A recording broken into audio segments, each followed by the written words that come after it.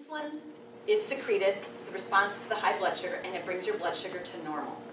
So that's what's supposed to happen. You have breakfast, your blood sugar goes up, your pancreas secretes insulin, it brings your blood sugar to normal. That's what happens in the normal setting. Now, if you have metabolic syndrome or insulin resistance, your metabolism is totally mucked up. It doesn't work that way anymore. What happens with you is as you eat, blood sugar goes up, body secretes insulin, but part of the problem is that it's resistant. It's resistant to insulin, it doesn't work. So what happens? So your blood sugar's still high. So your pancreas is thinking, all right, they need more insulin. So you crank out more insulin to get your blood sugar normal. You keep cranking out insulin to get your blood sugar normal. But guess what? Guess what insulin does?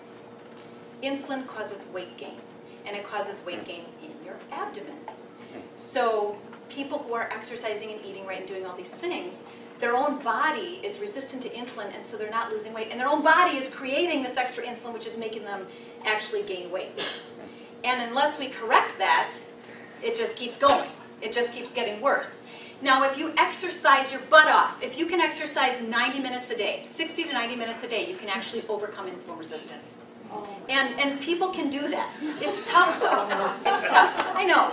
We try, right? I mean, but, but, but I'm just saying that it is possible. For those who can really aggressively exercise, you can usually really affect that insulin resistance, make the body more sensitive to insulin.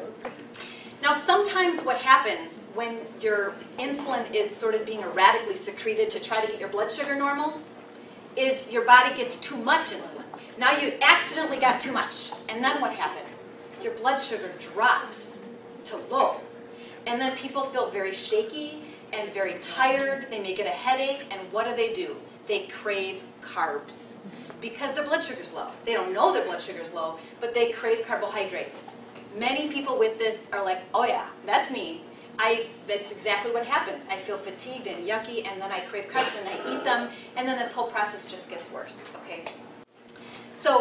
basically what we do is we identify that that's what's going on, and then we fix it. We fix it in part by certain types of diet and exercise. Obviously, the more exercise, the better. When it comes to diet, it's low sugar, low carb that fixes this problem more than, than a low-fat diet. Low-fat diet may actually make it worse. Because what's in a low-fat diet? Sugar. Sugar. Carbs. And you got to eat something, right? you can't just, I mean, low-fat, low-carb, what is that? What are you eating? That's what I want to know. So, so obviously, but the thing is with this problem, it's a low-carb diet that's going to work better, okay? And I'm not talking extreme diets like Atkins. I'm talking about just lower carbohydrate, lower sugar. I tell people to avoid high fructose corn syrup. Have this, okay? You have to look at labels. All right, so that so this and then basically what we'll also do is use low doses of diabetes medications to help correct the insulin resistance. Very safe because the medicines we use don't cause, cause low blood sugar. They're generic, covered by insurance, like four bucks a month. And miraculously, people lose weight when we start to correct the underlying disorder that's present that just hasn't been addressed previously. So that's powerful stuff. And again, I'm, I'm spending so much time talking about this because it impacts so many people and may impact many of you or people you know, family members. Okay? Yes? Is there a linkage between metabolic syndrome and pre-diabetic? Yes. So metabolic syndrome, insulin resistance, pre-diabetes are basically, we're all talking about the same thing. So that's a good segue into what happens next. So you've got the patient with these high levels of insulin that little pancreas and those little beta cells in the pancreas are cranking out insulin to try to get that blood sugar normal. But you know what? Over time, those little beta cells poop out. They just can't do it anymore. They've been overstressed. They've been cranking out all this insulin for years. So what happens then? The beta cells poop out. Well, now you can't make as much insulin anymore. So now the insulin starts to come down. But what happens? Your blood sugar starts to go up, and bang! Now you're diabetic. We say, oh, you're diabetic. You know what? By the time we find one abnormal blood sugar on you, you've lost about 50 to 60% of your pancreatic beta cells. One abnormal blood sugar. By the time we see an abnormal fasting sugar, you've lost 50 to 60% of your pancreatic beta cells. And you know what? You can't get it back. You can preserve what you've got left, and we can hopefully stop the disease from progressing if we, if we get aggressive at that point.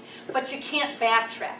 So what I try to do, I, I hope very successfully in our clinic, is to identify people 10 years before that happens. Identify them at the stage when their insulin levels are high, they've got insulin resistance, but they're not yet diabetic, because we can intervene much more um, effectively if we start the process early. If we wait until you're already diabetic, now we're backpedaling. And the medications that are available, we have less meds available to you because the meds are based on you having a pancreas with normal with beta cells that are working. And if you have lost your beta cell function, now you're dealing with potentially looking at insulin. So now you get to take insulin because as a diabetic, if you require insulin, you die without it. So, but we don't want you to get there. We want to identify that early on. And so that's what we try to do is identify this very early.